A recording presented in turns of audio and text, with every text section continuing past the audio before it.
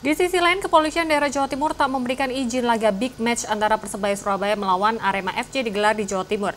Polisi menjelaskan penundaan laga derby Jatim ini atas permintaan Panpel Persebaya dengan alasan keamanan.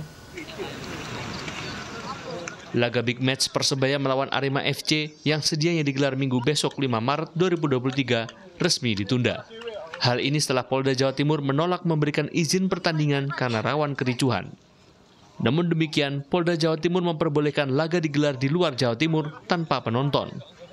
Kabit Humas Polda Jawa Timur menyatakan, laga Persebaya melawan Arema FC memiliki resiko yang tinggi.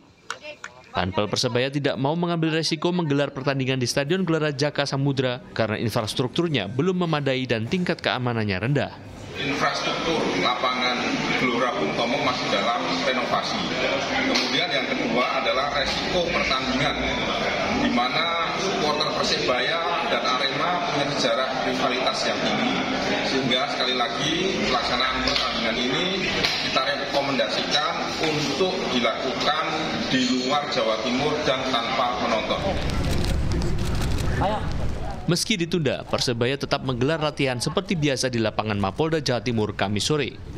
Dalam latihan ini, pemain Persebaya mendapat latihan fisik dan taktikal untuk persiapan melawan Barito Putra. Terkait penundaan tersebut, pelatih Haji Santoso sedikit menyayangkan karena dirinya telah mempersiapkan bajul ijo untuk menghadapi Arema FC.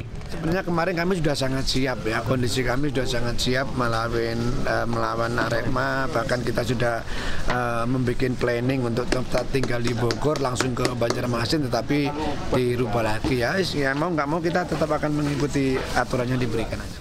Bagi Persebaya, penundaan ini bukan pertama kalinya. Sebelumnya, laga melawan Persikabo dan PSIS juga mengalami penundaan karena alasan keamanan. Dan laga tunda tersebut hingga kini belum dijadwalkan akan digelar kapan. Tim Liputan